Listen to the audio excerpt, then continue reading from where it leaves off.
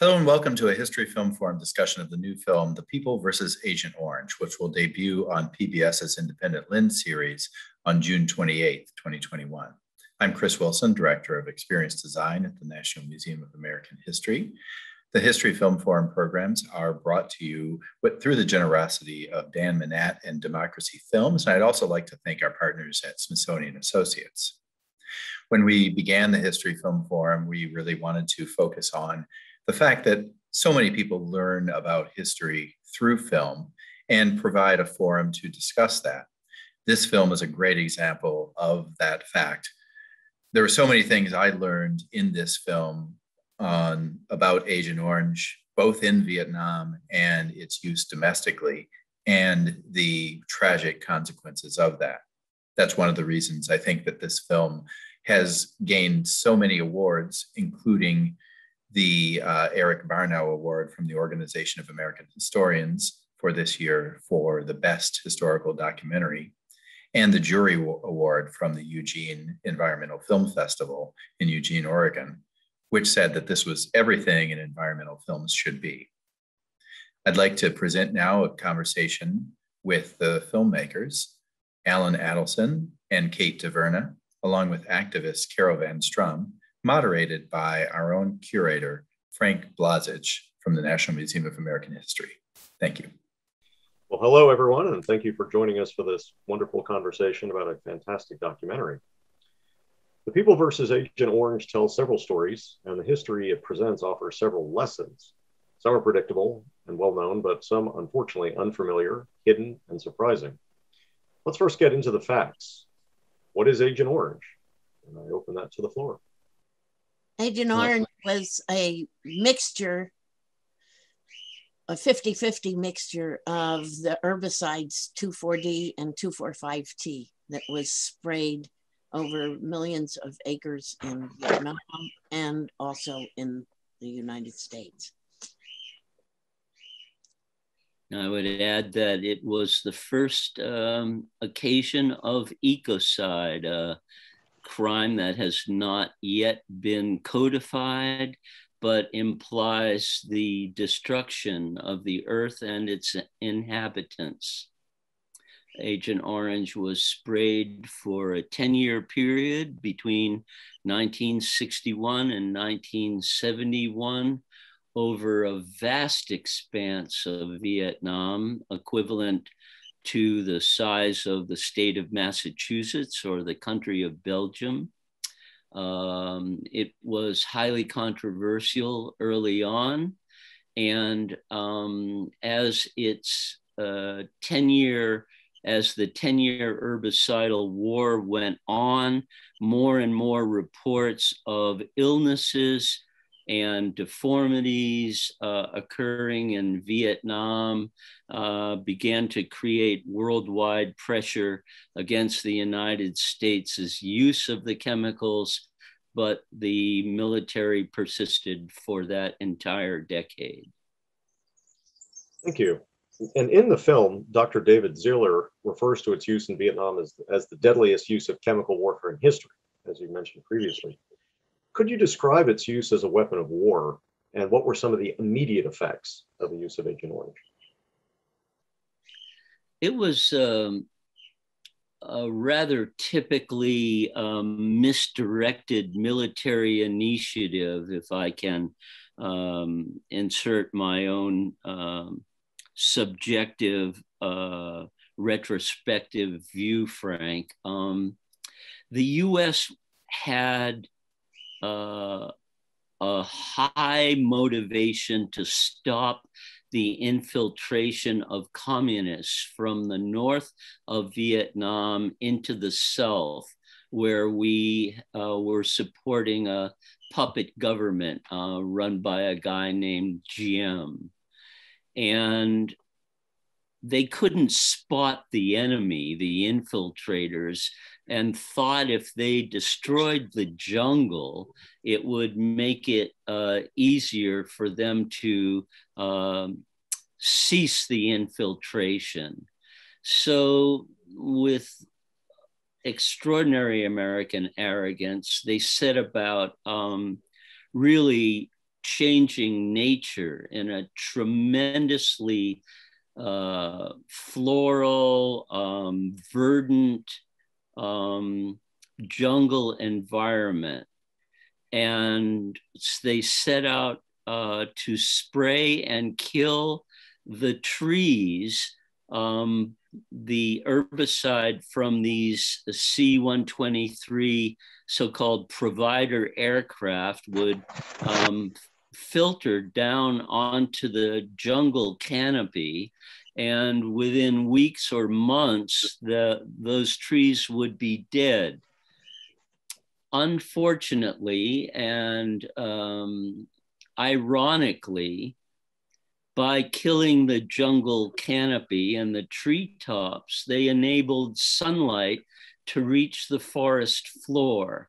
And then immediately, um, huge grasses, currently known as American grasses, and bamboo grew up, which provided even better coverage for the Viet Cong on the ground um, than the tall jungle trees might have done.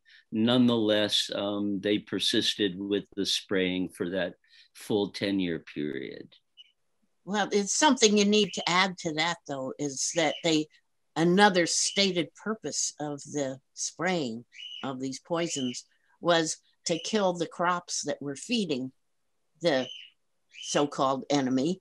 And um, that was definitely part of their program. And of course, it not only killed crops, it poisoned what was left of them, and people consumed them. And I'd add to that, Carol, that um, through the uh, crop destruction, the Americans were able to force um, the Vietnamese into what they called strategic hamlets, which were in fact concentration camps, um, so that um, the Vietnamese um, rice growers, peasants, farmers uh, could not commune with the infiltrators, much less feed them. Um, and in that respect, um, I suppose the military objective was partially accomplished. Yeah, and another use, of course, that is often ignored is that these were these chemicals, same chemicals, were sprayed on every American military base in Vietnam, sprayed very, very heavily, much more heavily than the aerial spraying, and to kill everything that grew. So they would have bare ground, supposedly making it easier for for our troops, but um, it meant that almost anybody who served in Vietnam in any capacity was exposed to these things, to say nothing, of course, of the um, Vietnamese people. I think the uh, thank you both for very complete answer, I should say. now, this very tragic part of the story is known, but I think what viewers of the film will find very surprising is the use of these chemicals domestically in the United States. And I would ask if, uh, Carol, if you would like to talk a little bit about this domestic use of what we know as Agent Orange here in the United States. Well, these same chemicals were developed originally by the military, basically, but they were also promoted heavily for agriculture in this country.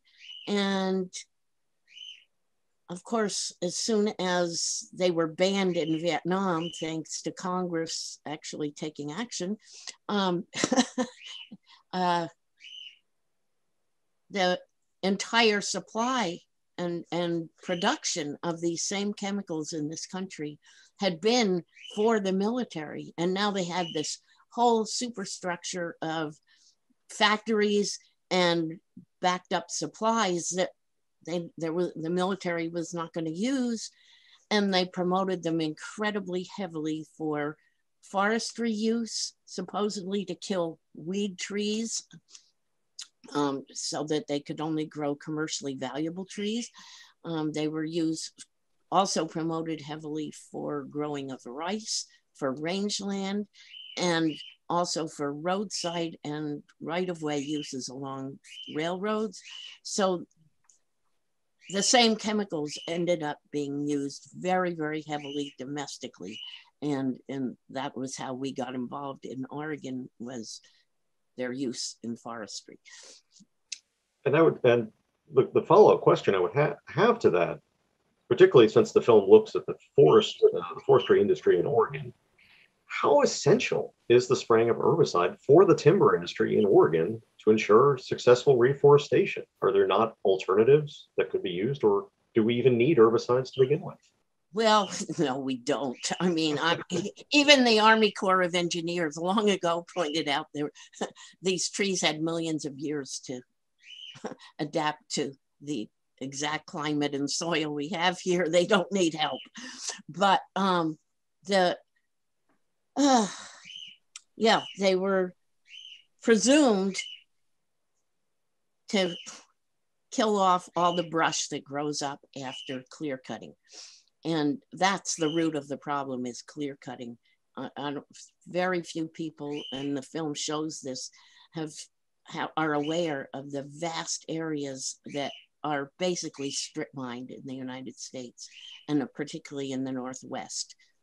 That everything is cut down to bare dirt and then poisoned to make sure nothing else will grow there. And then they plant their douglas fir. So the whole the whole problem starts basically with clear cutting and where like the national forest stopped clear cutting they stopped spraying because they didn't need to anymore when they're selective cutting they don't need to and um, that's the root of the problem is clear cutting.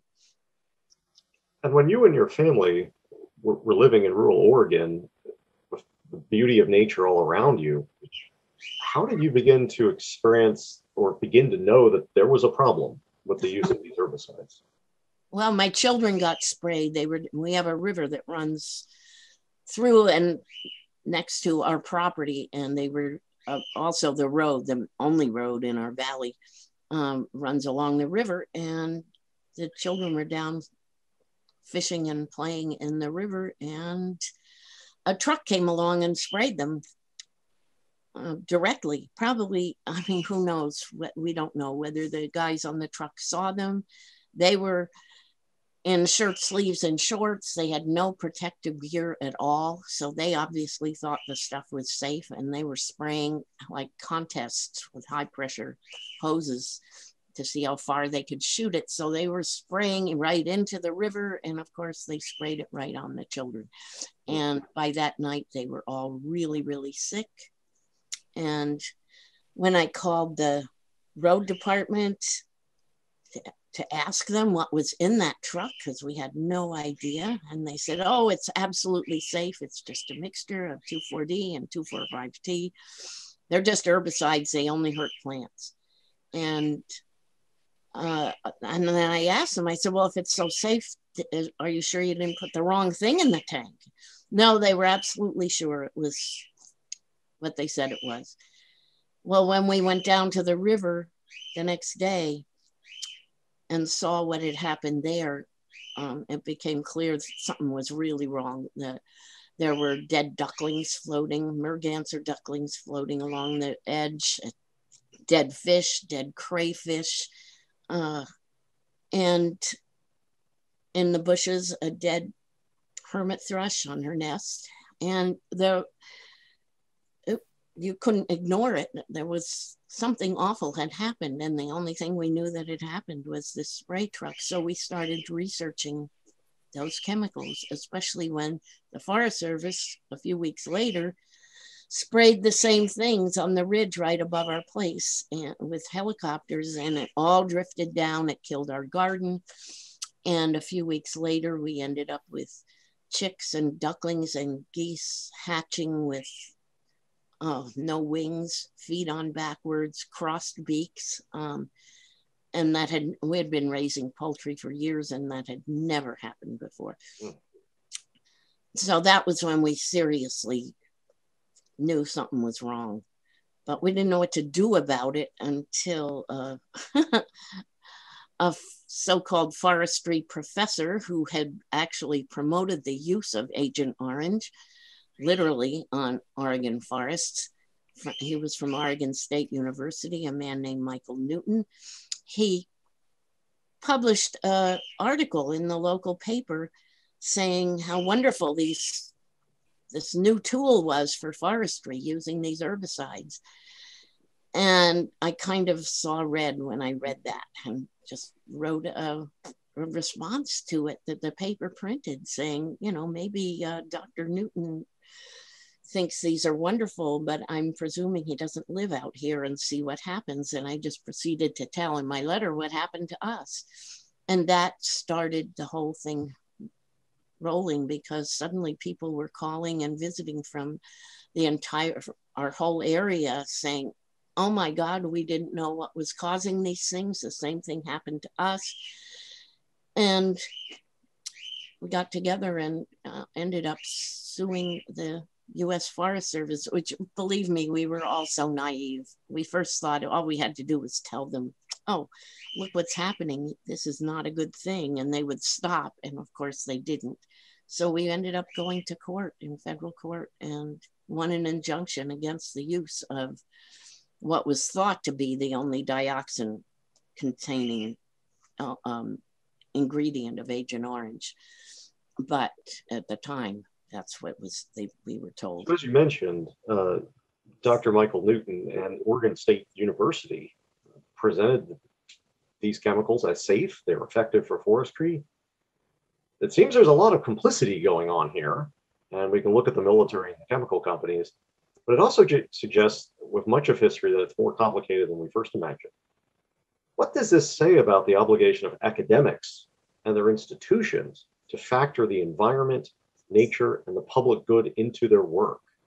Has this work, has his work, the university's involvement, ever been ethically questioned for the damage it caused?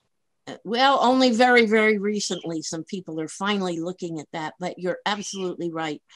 The problem, and with all of these chemicals, first of all, as both the film and my book that it's partly based on, uh, go into detail is that most of these chemicals are if they're tested for safety at all, the tests are done by the chemical companies. Most of them have been proven either fraudulent or not existent, but um, the government, the EPA, has continued to register them anyway, knowing that there's faulty or non existent safety testing. Mm-hmm. And the universities, because they depend so heavily on funding from the same companies that make these things. The research that goes into promoting the use of them gets done, but the research that might show the hazards of them is never funded. And there's where we have a big problem. And then there's a further problem of, of really horrendous pressure on scientists that do discover dangers being muzzled or even intimidated into not publishing. And that's been part of the whole history of how these things now have become the conventional way of growing anything. And it's all a fraud. Well, thank you. And activism, which you are a gold star representative of the power of environmental activism in the United States, I, I have to ask then, so I don't want to leave uh, Kate and Alan here sitting quietly through the whole interview. How did this incredible story first come to your attention? And in, introduction to getting meet Carol and the, later Madame Tran. Well, it's a rather typical New York story in its origins, Frank. Um, I was at a party thrown by an actress uh, I had worked with in a stage production. And a young woman approached me and said, So you're a filmmaker. Um, you have to do something about these poor, forgotten children in Vietnam. And she put her cell phone in my face and showed me the most disturbing images I think I've ever seen of human beings. Um, painfully distorted um, by chemistry. And I would add um, uh, without um, much comfort or care either, though the Vietnamese people struggled to look after them. I was resistant. Um, a documentary for me uh, and Kate can take many years. We go deep, and a film like this requires it. And there would be enemies, and this was. Uh, a story about an old problem that the United States had well, when we have plenty of new ones. But the investigative journalist in me uh, would not lay back quietly. I had a voice, I think, pressing my consciousness even as um, Angela uh, Rauscher was showing me these photographs of the orphan uh, Agent Orange orphans in in Vietnam.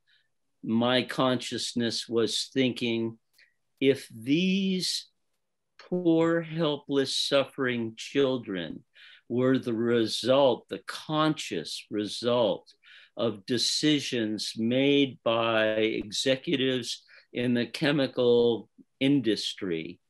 And it could be shown that for profit motives, they went ahead and attacked science knowingly, and these children resulted, then such a documentary would be a very cautionary uh, tale well worth sharing with humanity.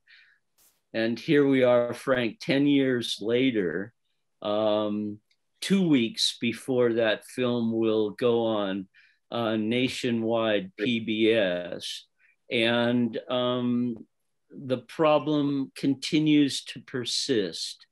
And the problems in our civic society, in controlling profit motives, in controlling the exposure of our citizenry to toxins, um, there is so much um, still left to be redressed.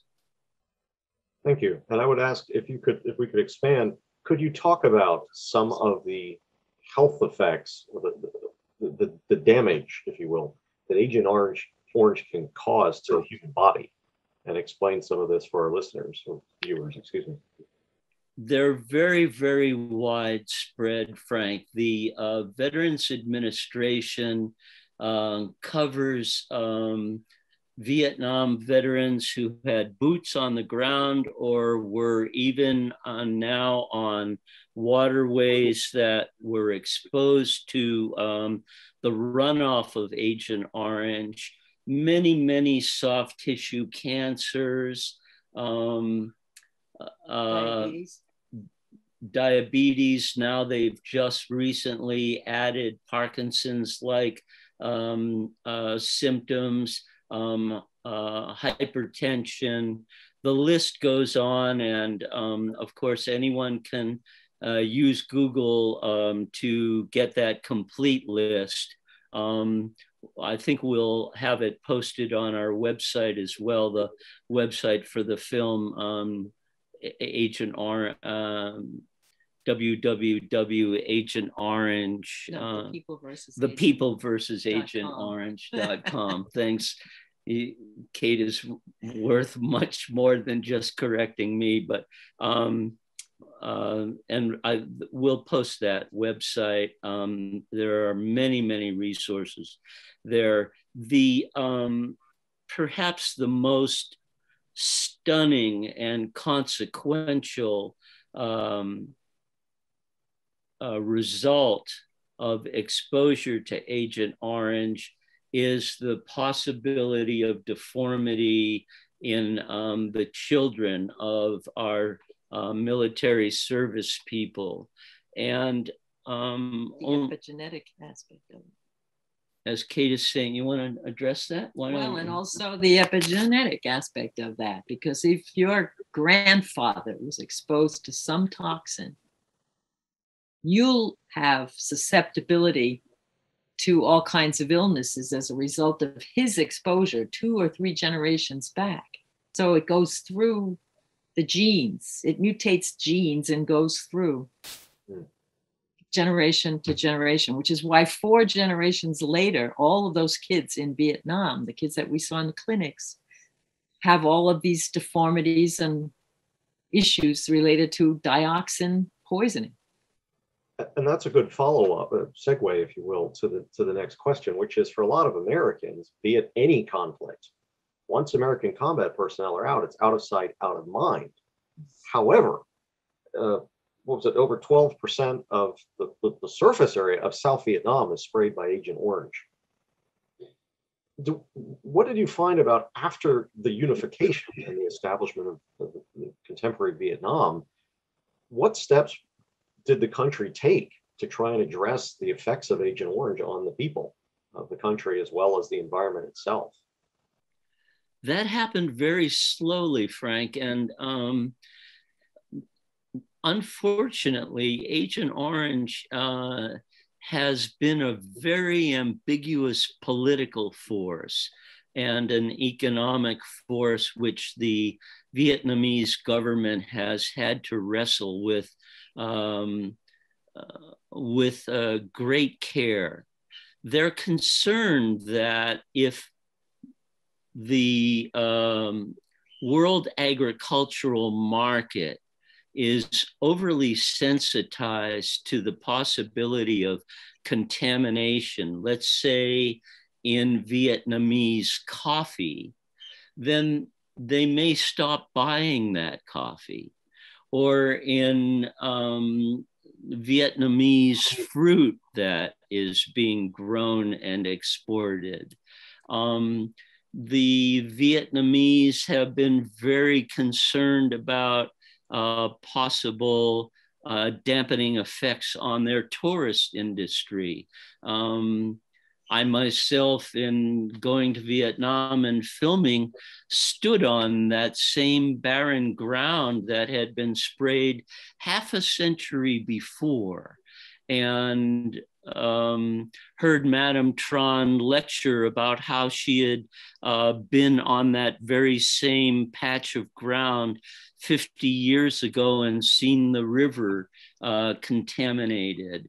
Now the Vietnamese uh, government is coming around and fighting to do whatever it can to look after the victims and also to encourage the US government to make amends, um, to provide reparations, to clean up um, the dioxin hotspots that exist particularly around the airports where uh, Agent Orange was pumped into the airplanes. That would be the Da Nang airport and the Bien, Bien Hoa airports, where the um, concentration of contamination is enormous and the incidence of deformities resulting is very, very high.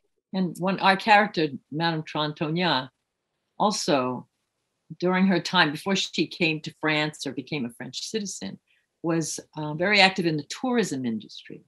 And she worked with people and raised money to build more than 200 places, clinics uh, to take care of these kids because she's so moved by these kids. So she's been active in trying to address you, this. I was going to ask if you could talk a little bit about her activism and what kind of spurred her to take such a prominent role in, Vietnam, but also now in France, to raise awareness about the effects of the of Agent Orange and particularly the dioxin. She was kind of born and bred in a state of war and um, and grew up uh, an activist um, with a very heroic um, uh, leader of the uh, resistance to occupation in Vietnam. Madame Tran's mother was uh, the leader of uh, the Women's Coalition um, against the occupation by the French and then by the occupation by the Americans. Um, and um, at the age of eight, she describes herself being sent with secret messages to uh, convey to people in the resistance, messages rolled up and inserted uh, into cigarettes. She was, uh, at the age of eight, an underground um, emissary, liaison, liaison. Activist, and um, is uh, a no holds barred, uncompromisingly committed woman who, uh, quite like Carol Van Strum, um, will stop at nothing to uh, help humanity um, deal with a problem. And that gets into a, a little extra issue, but Carol and Madame Tran are kind of film sisters. They've never met in person, but have fallen in love with one another, it seems, um, through the film and through us are continually uh, expressing affection and greetings to one another. Um, that's something that Carol could address.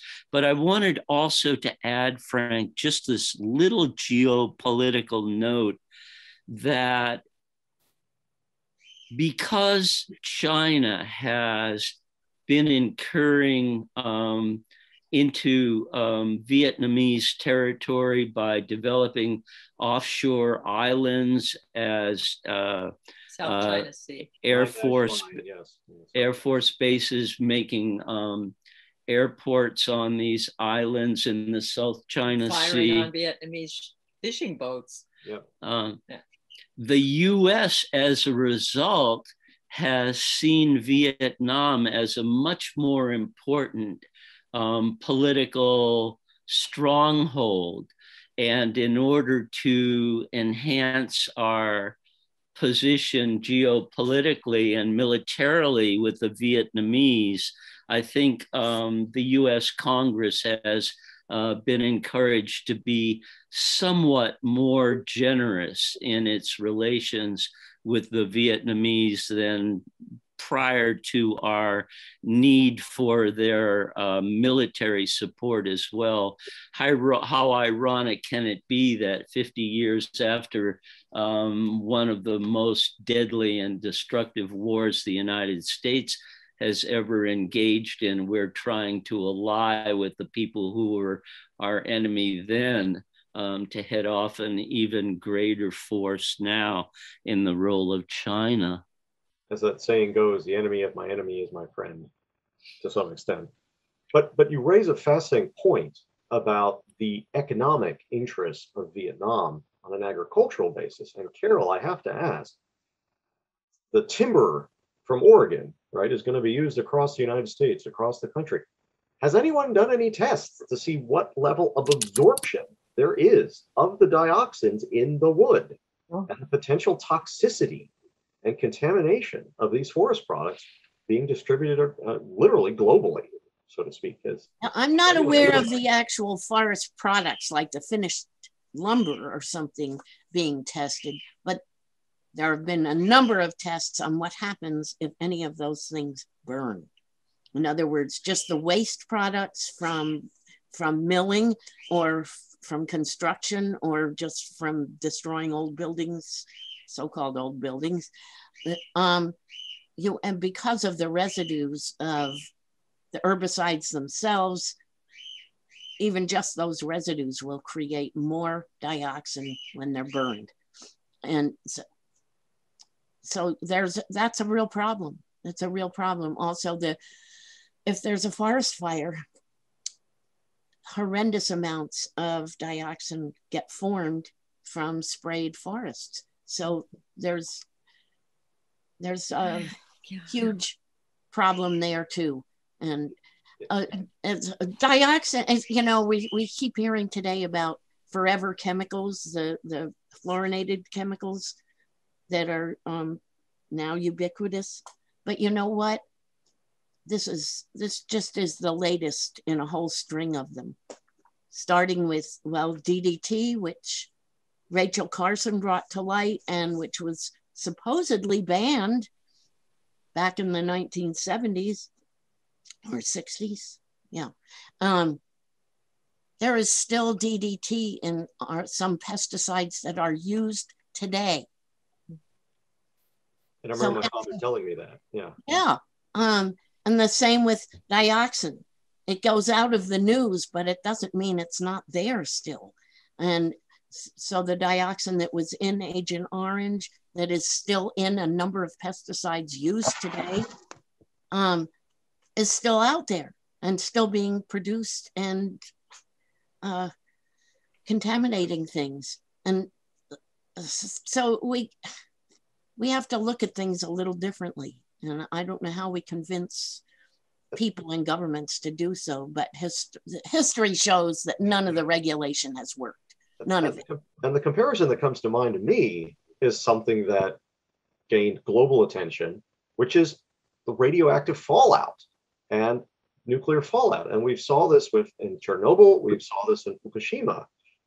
The radionuclides will travel thousands of miles. Mm-hmm. And even if they lay dormant in the case of Chernobyl in the forests, a fire, that smoke can move the particulate matter thousands of miles and blanket Europe. The same is true, as you just pointed out, potentially with forest fires in Oregon and that smoke, toxic smoke crossing over the United States. With the events in the former Soviet Union, we've seen uh, mini series on HBO. We've been books published on it and, and, and large awareness of the dangers of, of nuclear fallout. With this documentary, potentially will this raise the global consideration of the dangers of mass herbicide use, particularly this past use of Agent Orange? And that's an open question for everyone. Well, you have to also remember that half of Agent Orange was 2,4-D, and it is still one I think just behind glyphosate or Roundup is one of the most widely used um, chemicals worldwide. Um, and the, the dioxin content of it is still basically a secret, even though EPA supposedly demanded. They rely on the chemical companies to do their own testing. And who has a better motive for um, falsifying or covering up their results than the people who make it and make a profit from it. And when I asked under Freedom of Information Act for the results of all those tests, I got four boxes of blank paper stamped confidential business information. So the first one thing we have to have to address as a nation, I believe, is lies. Is that on on any any issue involving the health and safety of the environment or people or animals or anything else if you have to lie about it you not should not be able to sell it period and it, that it should be that simple we got some good news today. Um, Frank Car- Carol is extraordinarily well informed. I think because people everywhere are uh, so respectful of her, of her um, her book, A Bitter Fog, and um, they feed her information. And today in uh, my emails, I got a, a message that uh, from Carol that I really welcome. Do you want to share that with um, with the folks, Carol? What what happened um, that was good news today? Yes, because, well, the background to this is that here in Lincoln County in Oregon, where I live, um, the people in 1917, was that? Yeah. No, 2017, sorry. um, they, the, the voters in this county passed a measure banning aerial spraying of pesticides, of herbicides, pesticides, poisons uh, anywhere within our county, which has huge amounts of especially clear cut forests in it.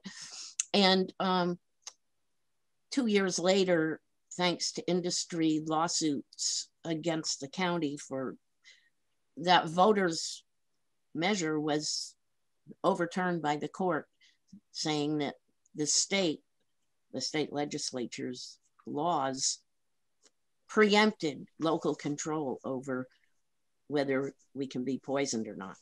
And so that's that's the background to what happened today was I and Alan, I learned this from Sharon Lerner at The Intercept. So we can credit her for letting us know that the Maine legislature, the state of Maine's legislature just passed a law, or it has to be signed by the governor, but they just pa passed this bill saying that banning aerial spraying in the entire state of Maine. Isn't that amazing? So it, it's a slap in the face to our legislature, which is totally enthralled to the chemical and timber industries and would never consider such a thing. To my knowledge, that's the first state in the country that has banned aerial spraying of herbicides. Although um, statewide, um, although as Carol said, um, the governor has to sign that bill, and uh, I hope there's no contention. I, I pity the governor if um, if uh, there are forces at work that will prevent um, this uh, ban from taking going into uh, effect. I think um, the governor will have to sign it. Let's hope. And, and someone that comes to mind, first off, outstanding news. Uh, but Carol, you mentioned her earlier, uh, Rachel Carson, and the long lasting legacy, at least of Silent Spring, to ban the widespread use of DDT albeit there's it's still out there. Considering the parallels between your work, uh, Alan and Kate, between your work, how did Rachel Carson's kind of journey frame the development of this documentary and, and frame your individual work in bringing attention to Agent Orange and its damning effects on the world? Well, I think she really set a precedent, an inspiring um, uh, and um, incredibly effective precedent. Um, the success of Silent Spring and the fact that it garnered millions of readers and resulted in the ban of banning of DDT stands as a model for us um, now and an inspiration. Um, uh, I don't think any of us can pretend to be Rachel Carson's in our own right, though um, I think Carol has, uh, and with her book as well, has um, really functioned um, very, very effectively and inspiringly in a in a similar role. I don't know if if there will ever be another Rachel Carson who wins that much attention. Carol, do you have any theories about how she succeeded in getting that enormous readership and and overcoming a, a chemical product that was so very widely used back then? Uh, well, okay. Part of it was she had uh, certain people that recognized the value of what she was doing. Number one, the editors at the New Yorker who serialized the book before it actually came out as a book, which brought it to the attention of a lot of people. The other thing that really helped, I think, was industry opposition. They raised such a hue and cry and tried to discredit her in so many absurd and really ugly ways that it actually pointed to her as somebody people might want to listen to because if Dow Chemical doesn't like her, there there must be something to what she's saying. I mean, honestly, that was, I think that helped in a in a very warped way to keep the focus. You know, it's like negative attention being um, for a child being just as good as positive, and maybe it's the same for a book. I don't know, but um, certainly they tried to discredit her just incredibly uh, nastily. And it didn't, in the long run, it didn't work. But I think that helped to publicize what what she was saying. And also people also noticed. She she made people notice what was going on in their own lives. And that helped too. You know, when you had robins nesting in your yard, even in the middle of New York City, all the years of your life, and mm-hmm. suddenly they were gone, you noticed it. And I think people realized that she really was onto something. And other scientists started noticing as well and actually starting to look at what was happening to the especially to the raptors to the hawks and the falcons and what was why they weren't able to breed anymore. Um, and it was because of the ddt destroying the eggshells. So it, it was just a snowballing effect i think and it really worked she had a fantastic title going for her with silent spring. And I dread to say this, but with the die off of pollinators, um, the tremendous reduction in um, the bird population, um, butterflies, monarchs uh, being only uh, perhaps 1% of uh, the population now surviving of monarch butterflies um, bees dying back so enormously that uh, the agricultural interests need to be highly concerned.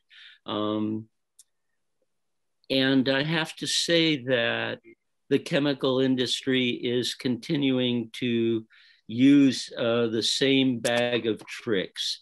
Um, we had a panel discussion with uh, biologist, Dr. Michael Skinner from Washington State, whose work probably deserves a Nobel Prize. He's the one who did the research Kate was just referring to about the epigenetic effects of exposure to toxins. Now, get this, folks. He has substantiated that exposure to toxins by us now will result, as Kate said, in an increased incidence of disease three or four generations ahead of us so that hmm we are contaminating our grandchildren and our great grandchildren, and the likelihood that they will contract cancers and pass on deformities is greatly heightened by that exposure to toxins. Now, we talk about education, we talk about how much we want to provide for our children and to have them have good lives. And yet, we are doing next to nothing to curb the presence of toxins in our environment. And that is a curse on future generations. Well, and we're seeing today the same curse taking place from previous generations exposed things like Agent Orange or previous to that to DDT. Um, we're seeing the incredible increases in chronic diseases, which are now exceeding, or were until this latest pandemic, um, that we're exceeding infectious diseases as killers of human beings. So that, uh, you know, and we're talking about oh, uh, autoimmune disease is one of diseases, things like, um, you know, Parkinson's and um, MS and lupus and other diseases that uh, skyrocketing. And instead of doing anything about it, we just allow the pharmaceutical, which is often the same as the chemical industry, um, to keep coming up with more and bizarre and often more toxic cures for things that were caused by their products in the first place. And, and that brings us to really this legacy here, uh, which is, and this is an open question, of course, and I know there's some of the answers are probably self-explanatory, what do you believe are the reasons for this utter abject failure of the Environmental Protection Agency and the Congress to ban the production and the use of not just 2,4,5-T and 2,4-D Agent Orange, but all of these other herbicides and pesticides and other incredibly toxic chemical compounds. Money, money. yeah, I was gonna say it's explanatory. Yeah. I mean, it, look at it this way: if some if some company wants to spray your house and your garden and your children with a poison to make a profit, there's no way you can stop them. There's no rule that says no, they can't do that. Um, and they've co opted the state legislatures to pass laws called right to farm laws that preempt any local attempts to prevent such a thing, including preventing you from suing those companies for the harm they've caused you. You're not allowed to do that anymore. And that's, and it's all to make a profit. It has nothing to do with you know, spraying something that's going to prevent a disease, say, or no, it's to make a profit. So that that's that's the heart of the problem. As as long as profits control what we allow to be done to us, nothing's going to change. Nothing is going to change. What can people do, Carol? What can we do to, to try to turn the tide there? Well, I'm seeing more and more, and so are you, thanks to us. Um, we're seeing more and more communities basically getting together and saying no and fighting these same preemption laws that have the right to farm laws that um, have been passed in state legislatures in 50 states. So you can see how widespread industries control has been. And um, saying, no, we have the right to to our health and our safety and our survival and that of our children and they're adding that not only adding to that not only the right to say that for themselves but to say it for the ecosystems that are getting destroyed and that support us all and to me that's very very exciting that that is something that's finally coming i think i hope in time for to stop some of the worst, what you call ecocide, the, the killing of things to make a profit. And part of that is the rights of nature, which, you know, Justice William O. Douglas promoted way back in 1972, just about the same time that Dr. Seuss wrote the Lorax. We should be able to speak for the trees there's a wonderful moment in the film when Carol tells a um, hall full of uh, student environmental lawyers. Um, she says two things. One, if uh, corporations have the same rights as individuals, then they should be subjected to capital punishment just as individuals are which is uh, and they cheered like mad for that. And then she said we have the right to protect ourselves from being poisoned and we picked up that line and made it sort of the tagline on the film's poster.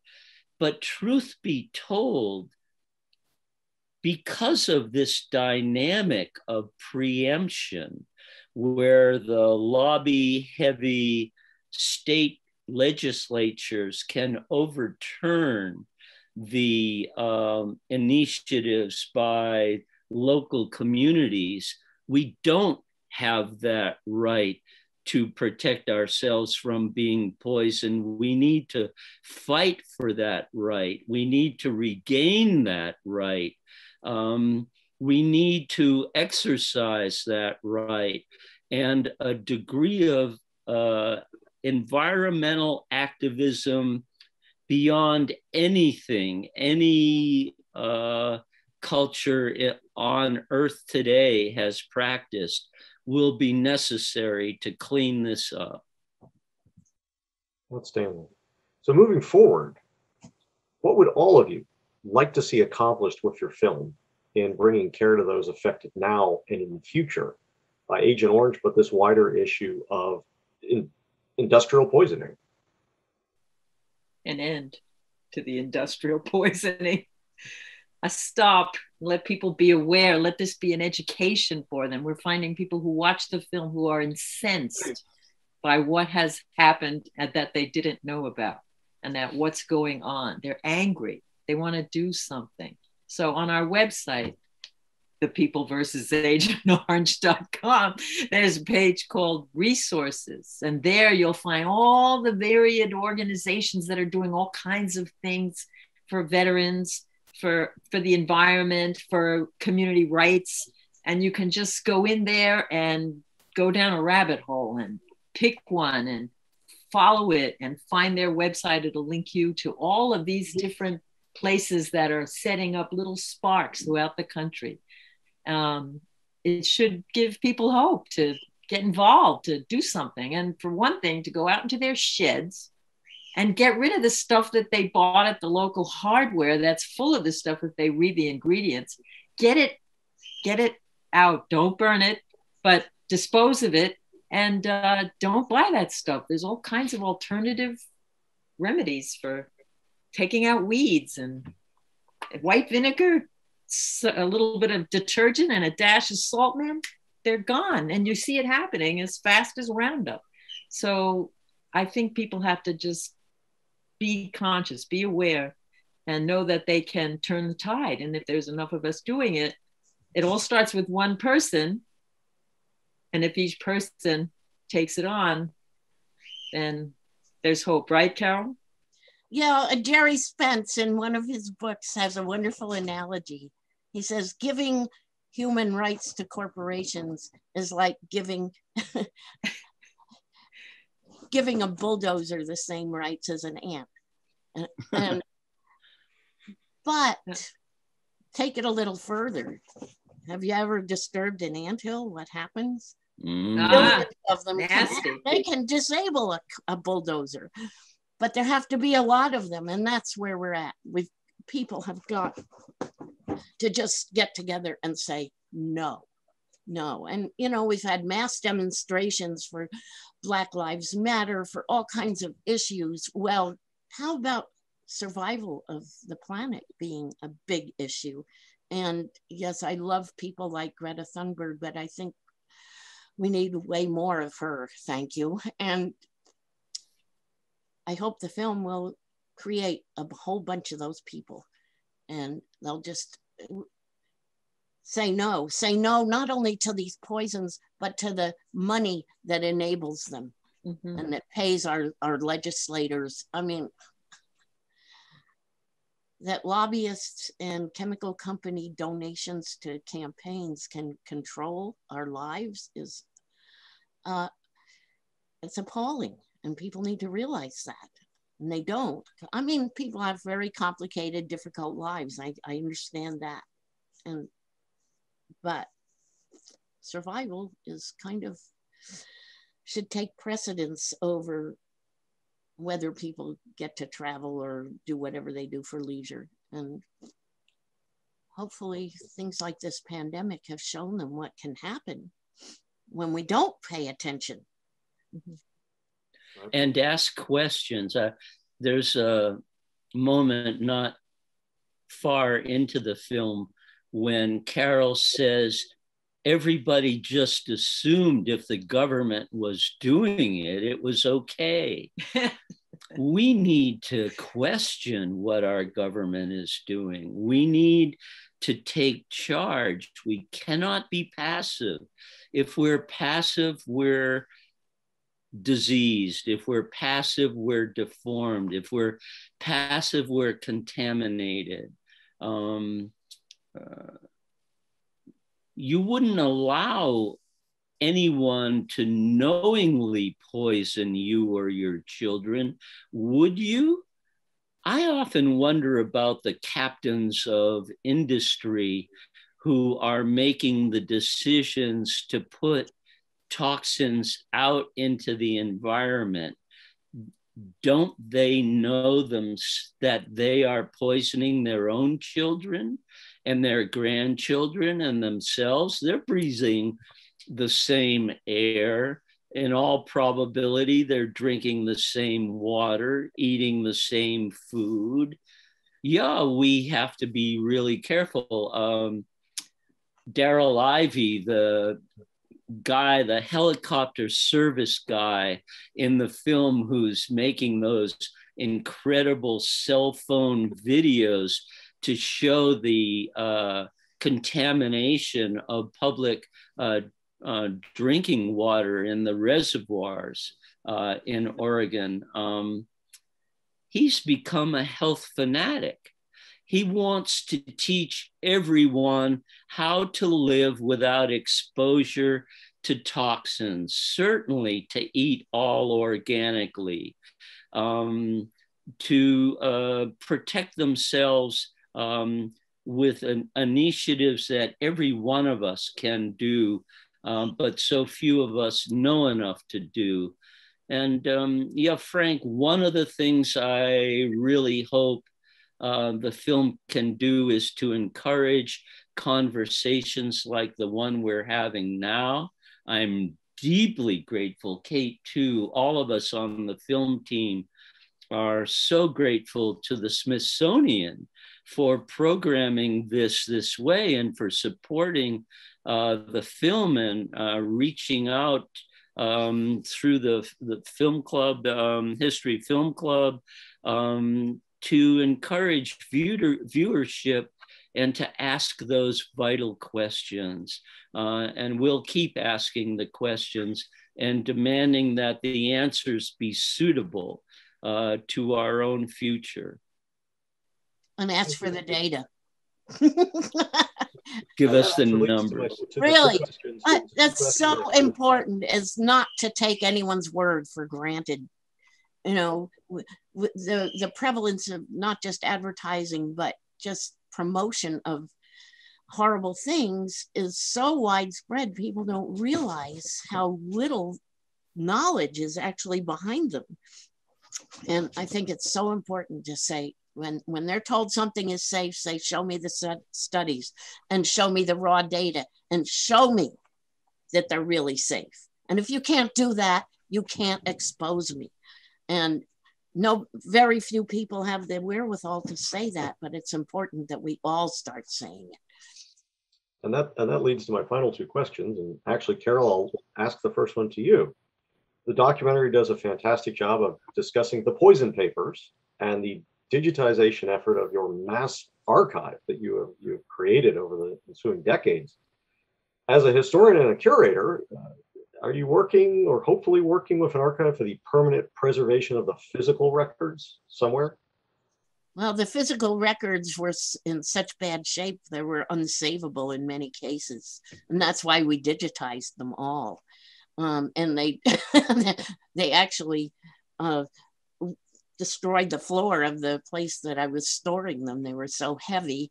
Um, so they're they're basically although some of them still haven't been digitized and there are still quite a few documents that remain because we ran out of funding um, to have them put up there but they are at least being preserved in several different places up on the poison papers um, site on, and also by Columbia University and their toxic docs. And they have actually been adding to them as we're able to upload things. So um, they're preserved electronically anyway. Outstanding. And then the last the last question I have, and uh, and I have to go get to my son who's been awake now for like the past 40 minutes. And oh no. Rolling around his crib because I have the baby monitor here. Good. Give him a um, hug for us. Oh, he's a ha- happy little fellow, I must say. He's he's just playing up there for the moment. Good. But for all the viewers of this film, uh, particularly those who you can't not be moved by the footage of the, vic- the, the current generation of victims in Vietnam. What can viewers do to help the victims of Agent Orange in Vietnam today and in the United States? Well, they can um, support initiatives uh, being taken to uh, help those victims in Vietnam. Um, the Senate Foreign Relations Committee um, every year um, uh, votes on um, the degree to which uh, they will try to remedy um, the problems that we've left in Vietnam, the legacy, um, as our uh, colleague Susan Hammond says, the war legacy has been despicable. And that's the name of her project, the War Legacies Project, that supports many of these victims. She goes there every year with all kinds of material and uh, what wheelchairs and uh, prosthetics and all kinds of things that she brings from people who have been donating to her organization called yeah. the War Legacies Project, which is on our resources page. And and another character in the film, um, Heather Bowser. Heather Bowser's organization, the woman who's interviewed by um, Tran um, Children has, of Vietnam Veterans Health Alliance. It's also on our resources page, and they're all involved. And she's involved with uh, American veterans' children. So donations to either of those organizations, War Legacies Project or more direct Children of Vietnam Veterans Health Alliance will help at all a lot. There's also a new bill which uh, Representative Barbara Lee has introduced again, reintroduced after I think maybe five or 10 years of attempting to get Congress to support these um, health um, related initiatives in Vietnam. Um, but that's going to take a good deal of uh, political change before the American Congress will really bite the bullet and try to do something significant to make up for the damage that we did so ruthlessly and so heedlessly in Vietnam no country has ever experienced um, such a tyrannical reign of terror as the deliberate uh, contamination of um, Vietnam society um, from 61 to 71. Um, it's been compared, uh, and even when you mentioned um, the nuclear fallout, Frank, um, it's been compared to uh, uh, nuclear weaponry. And yes, David Zierler uh, refers to Agent Orange as a weapon of mass destruction. Absolutely. One thing holding that up, I believe, is the fact that if we give reparations or whatever you call it to the Vietnamese people, at some point they're going to have to consider something similar to the same victims in this country mm-hmm. who have been affected and profoundly.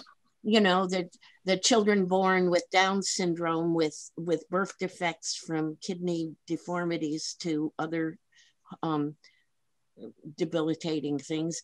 And to say nothing of the children that never got born at all you know that were that we, we had one woman put up a sign, it didn't last long, on the highway here saying, free abortions, call US Forest Service. And she gave their local number. Um, there were so many women miscarrying. I mean, when, when all of the women in the first trimester in an area that got sprayed miscarried, it's kind of hard to ignore. And EPA's own study showing what happened, of course, was suppre- suppressed mightily. The scientists who did it were prevented by armed guards from presenting their data at scientific conferences. They were never allowed to publish it. Uh, so you, uh, the people in this country who were affected have, I don't think, as equal a horrendous story to tell as the Vietnamese, but I think the fact that there are so many of them might make helping the Vietnamese, make, make the government helping them uh, pause because the next step would be helping the people in this country too. The cost is enormous not to. The cost of supporting our, the US veterans who have been exposed to Agent Orange, uh, is in the many billions of dollars. Um, the cost of um, remedying all of these health um, issues uh, is enormous. Um, there is no justification for ignoring um, the consequences of putting these toxins into the environment. Speaking on behalf here of, of Chris and Smithsonian affiliates, thank you all. You've made a tremendous contribution to the world's awareness, not just America's awareness or Vietnam's awareness, but the world's awareness of the dangers of Agent Orange. And uh, God willing, this will begin to move an avalanche of change that we desperately need in this country and the world community as a whole. Thanks to the Smithsonian, everyone can see the, the film on the 28th of June um, on PBS. On PBS. Check your local stations for timing. Thanks so much, Chris. Thanks to the Smithsonian Institute. We're deeply grateful for the exposure.